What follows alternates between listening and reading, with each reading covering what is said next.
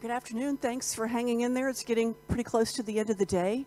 Um, I'm Anne Holler, and I'm happy to be here with Travis on uh, an MP4 that he recorded uh, earlier uh, to present uh, efficient deep learning training with Ludwig AutoML, Ray, and Nodeless Kubernetes.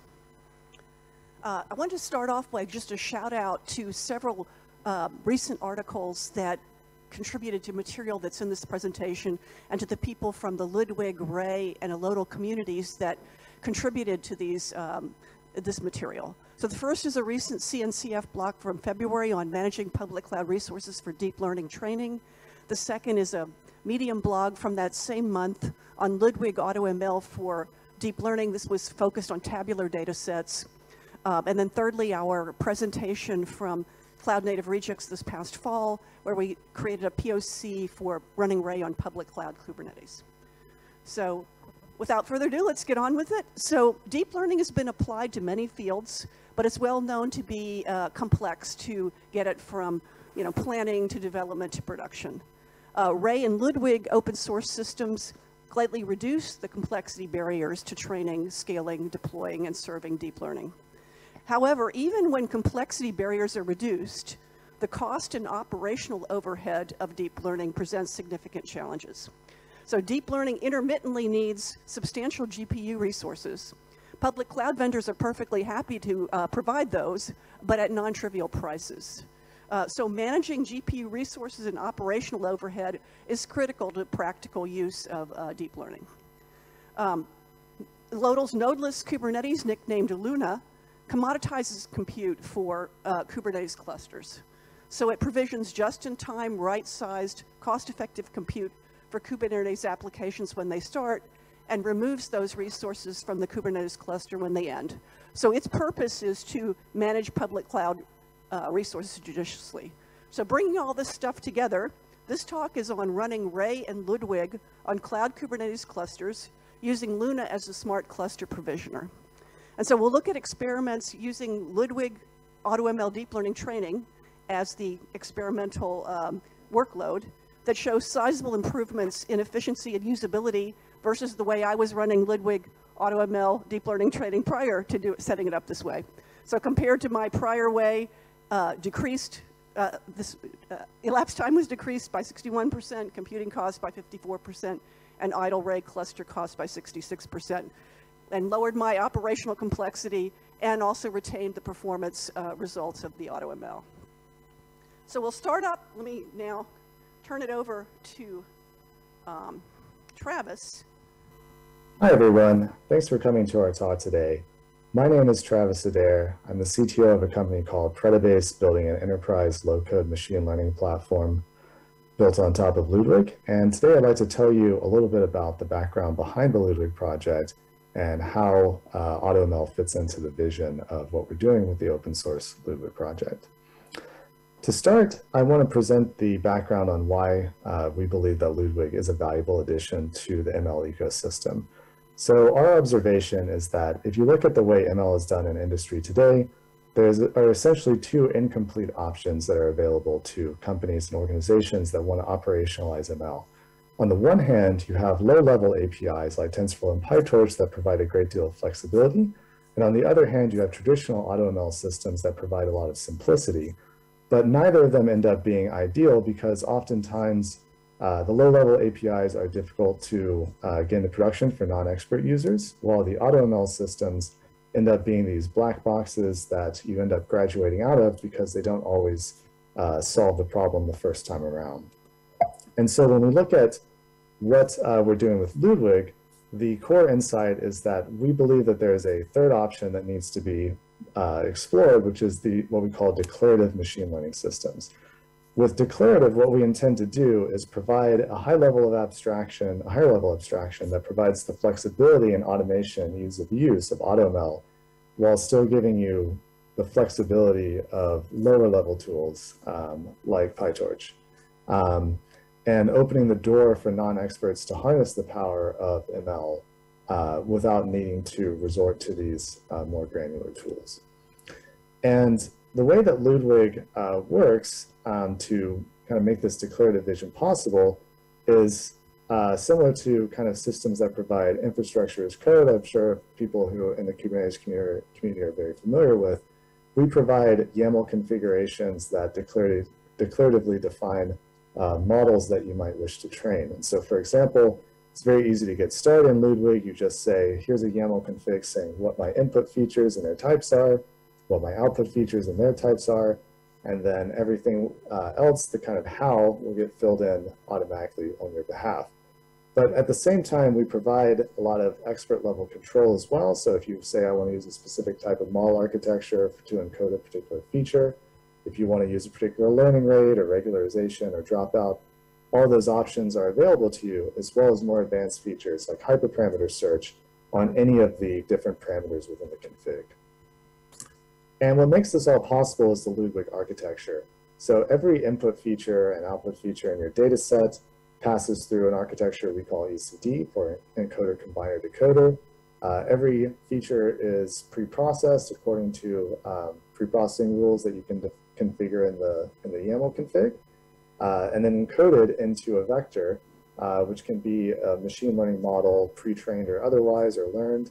And then all of the different features are combined into uh, an embedding space and then individual uh, output features then pass through a very similar decoding step where we get the final prediction.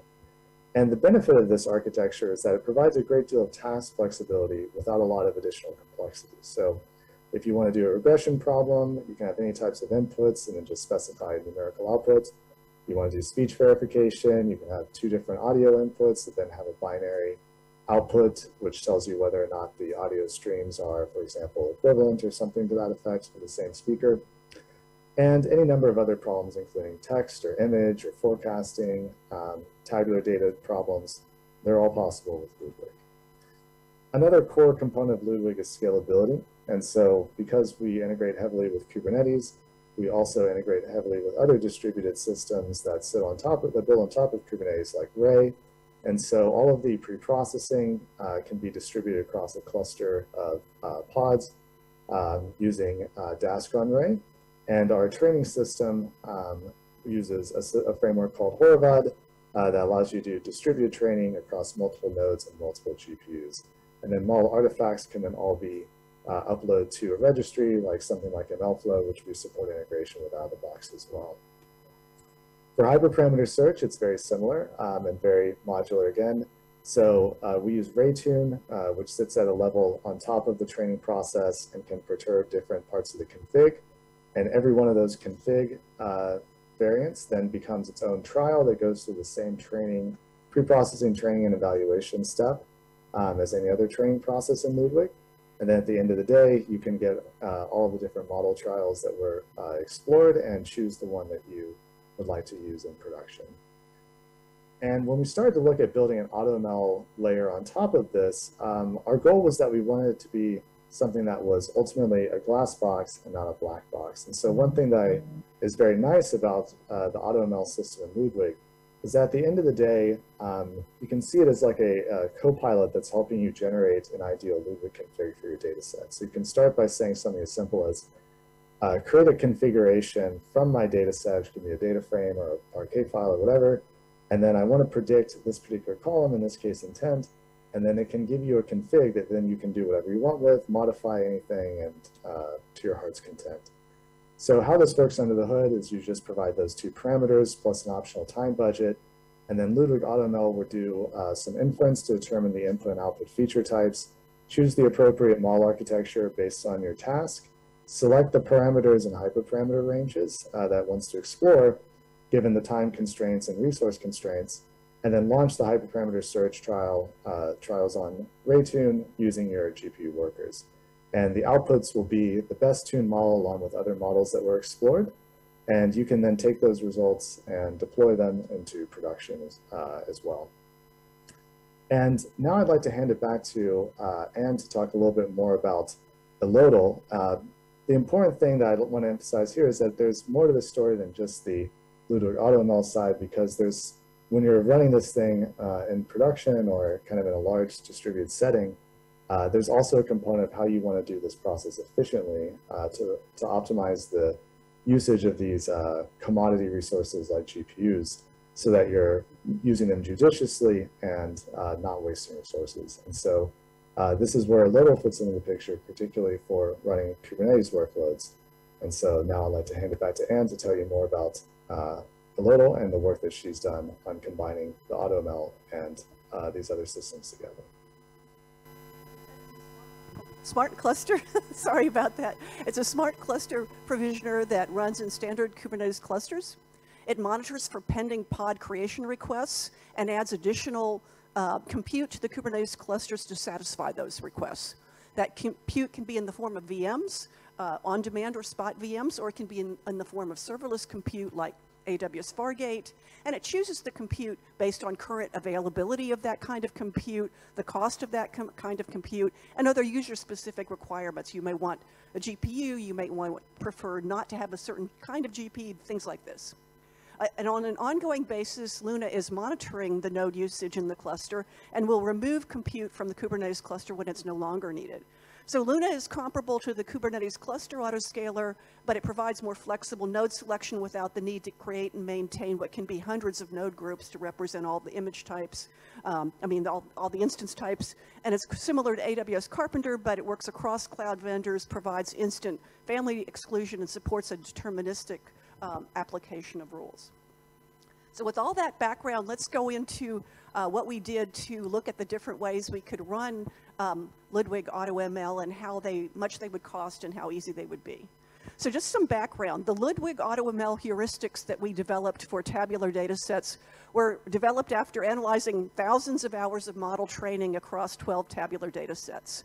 And after we had those heuristics, you know, we ran them on the training set of 12 data sets to make sure they could produce good models in a short period of time, like an hour rather than thousands of hours. And then we said, okay, that's like, you know, running on the training set. Now let's take an additional nine validation data sets. We've never seen them before. They're tabular. And let's run Ludwig AutoML on them and let's get the resulting models and compare them to highly tuned publicly um, reported models. And so that's, I did that, and that's the, I did that on nine uh, data, those nine data sets. And so the workload we'll look at here is three of those data sets running for one hour, two hour, and four hour Ray Tune time budgets. And we'll look at the way I originally ran them and the way I would run them on Kubernetes uh, with Luna available. So in the remainder of this talk, we'll look at the baseline configuration and the two other configurations. First, look at a high level you know, description of the three and then deep dive each one. So the top level is how I ran things originally and did the original validation of AutoML for the nine data sets. I had a three node Ray cluster. I deployed it directly on AWS VMs. All three of the nodes were GPU enabled, meaning the Ray head itself could run part of the workload during the AutoTune process, as well as the two workers. Um, I ran them on NVIDIA T4 GPU VMs as being a kind of a commodity uh, GPU system that did a good job for these workloads. Um, the first alternative to that basic uh, configuration is to instead of deploying Ray directly onto VMs to deploy, Ray into a Kubernetes cluster that's got uh, Luna installed in it. And to enable the Ray autoscaler, so to uh, deploy Ray with the head being GPU enabled and allow Ray to scale up to eight workers, you'll see here, instead of just two. We'll talk about that in a minute. Um, and so what happens here is when the Ray autoscaler realizes that more um, workers are needed, it asks for the workers not in terms of an instance type, but in terms of the amount of resources that are needed. And when Luna sees those uh, resource requests, those pending pod requests that aren't satisfied, it's going to go out and pull uh, available instance type and put it into the Kubernetes cluster on demand. Um, and then lay, when, later when the Ray autoscaler doesn't need a worker, it's going to uh, get rid of the worker and the Luna system that K8's nodeless is going to see that that node is no longer needed and pull it out of the Kubernetes cluster. Um, so in fact, in this case, even the Ray head, when it's originally deployed, Luna is the one that chooses a GPU-enabled um, node and puts it into the cluster.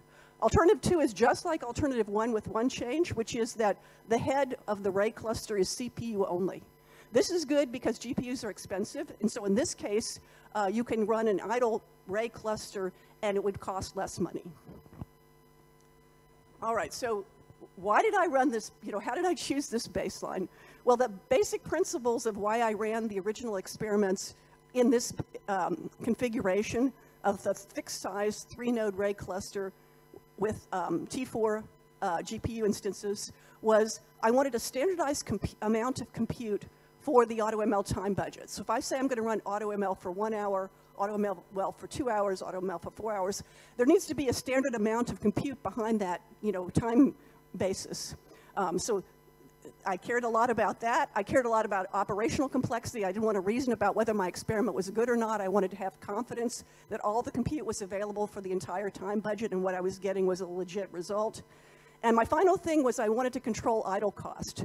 So when, I, when the experiment was finished, I would log into the Ray head. I would make sure that I didn't see anything bogus about the experiment. I would poke around. I would record things. So I was pretty sensitive to idle because I might leave the Ray cluster running for you know, a non-trivial amount of time after the experiment was over. So G4DN means T4 GPUs, and I could have used any of the variants of T4 GPUs because for this workload, it's all about the GPU and the GPU memory. Um, but I chose 4x large, a little bit spendy, because when I tried to get cheaper instances in my region, they were often not available, and so that was operational complexity for me to keep trying to redeploy the Ray cluster and so on. So, you know, that was my choice. Three nodes I knew would do a good job running the 10 hyperparameter search trials, which is the default number of search trials run by AutoML and Ludwig. So I knew three nodes could complete 10 trials in a reasonable amount of time. Um, I used non-spot instances for the same reason that I had a fixed size cluster. I didn't want anything to go away during the run.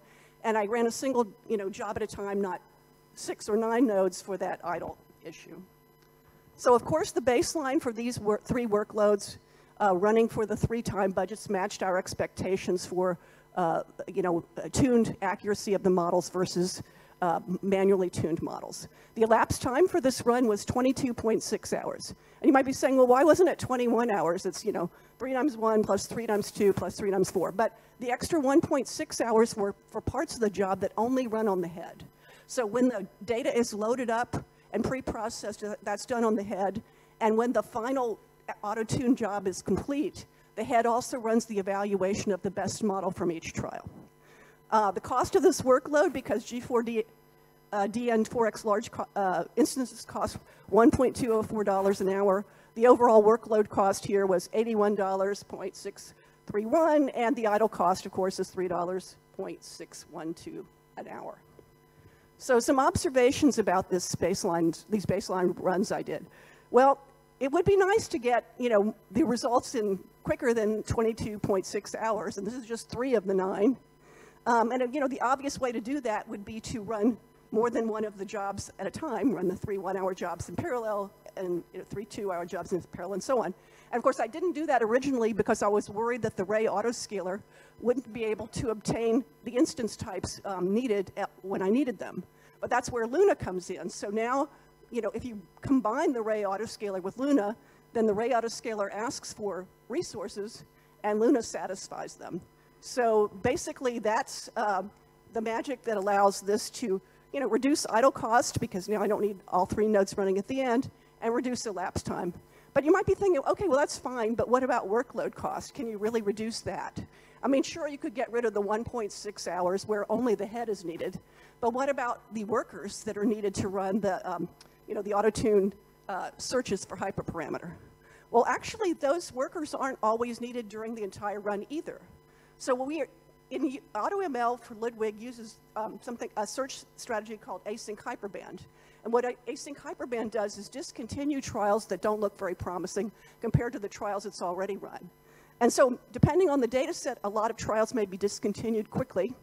And when there's fewer than three trials left, then fewer of three workers are needed. So this is a picture of the 22.6 hours um, on the x-axis.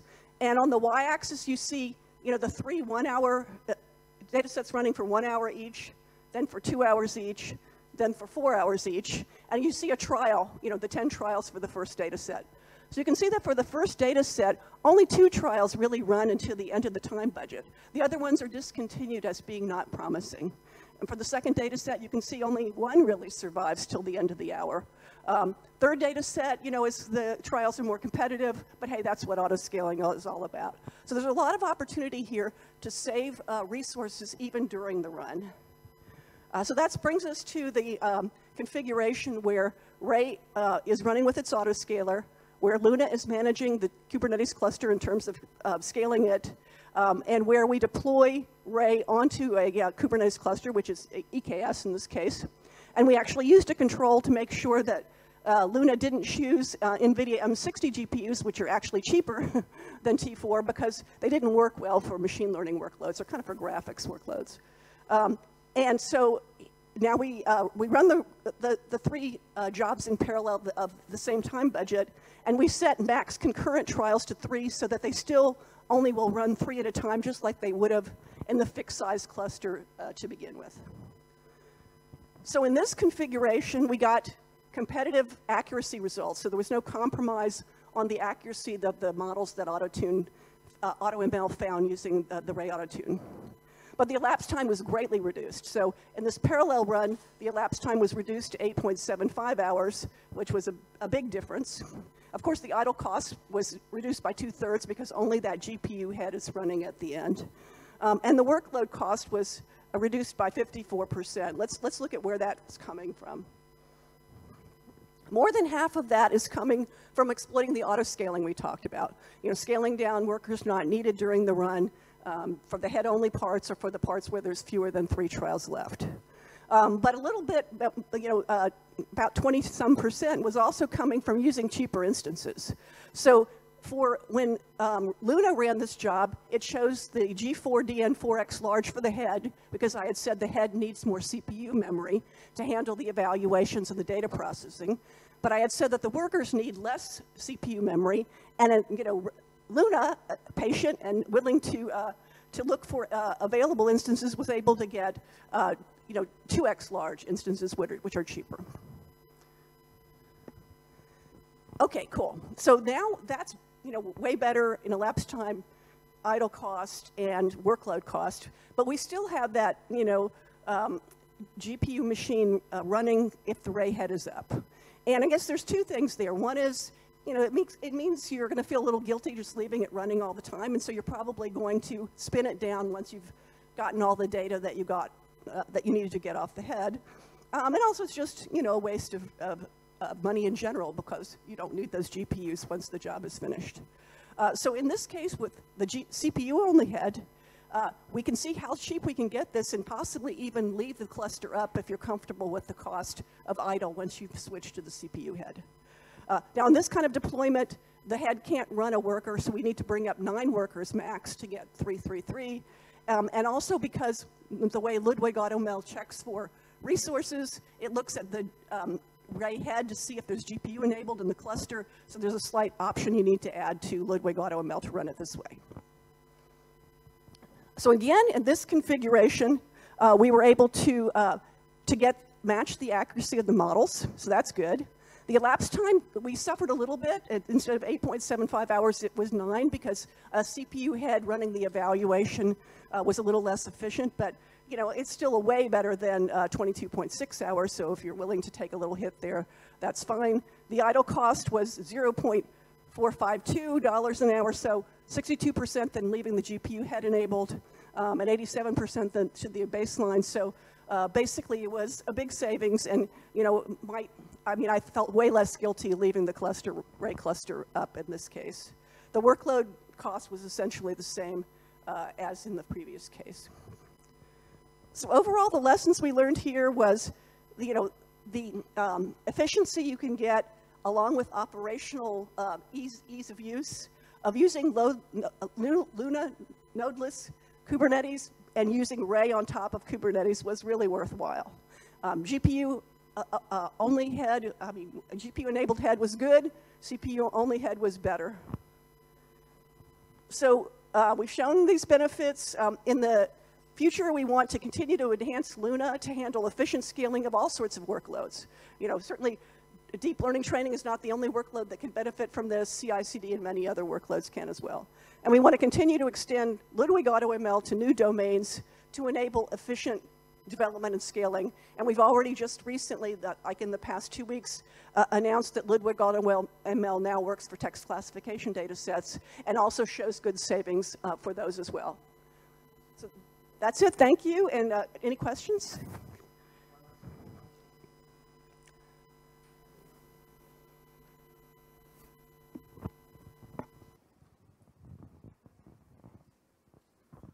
So do I get it right that Lunar doesn't actually um, add nodes to the cluster, but rather add some compute and you're handling off the workload to that thing? And if so, what is the difference between just spawning nodes on demand that fits your needs?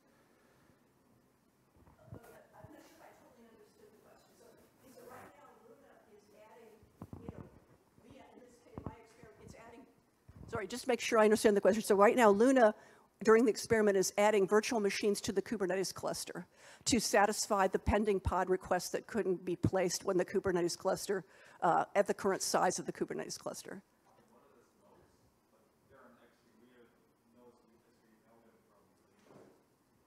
The- I'm sorry, they're, I'm not sure if I understand. They're, they're nodes in Kubernetes. Yep, yep, yep.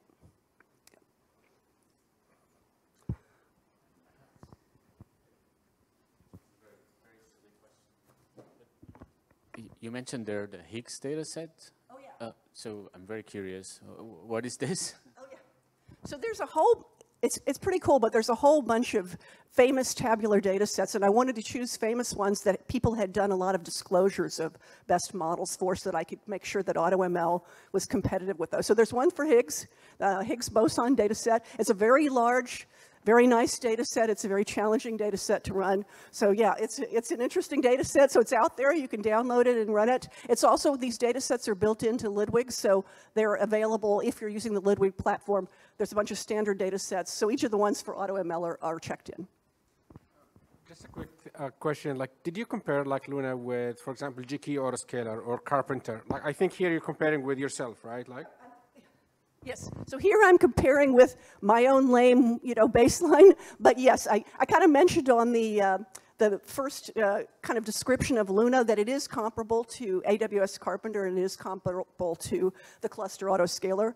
I would say the difference for the cluster autoscaler is typically you have to end up creating a whole bunch of node groups to cover every possible instance type you want, whereas you don't have to do that here. And for Karpenter, um, I've actually run experiments on other cloud clouds other than AWS, so that's one issue with Karpenter, at least right now, is that it's really AWS. Karpenter also doesn't allow you to do instance exclusion, so I really wanted to do instance exclusion here because I didn't want the crappy M60 um, GPUs. Um, it also has this weird thing with the rules where it's not deterministic what order Karpenter applies the rules. So these are little picky things, but, but, um, but so I feel like this is kind of robust for my use case. Thank you.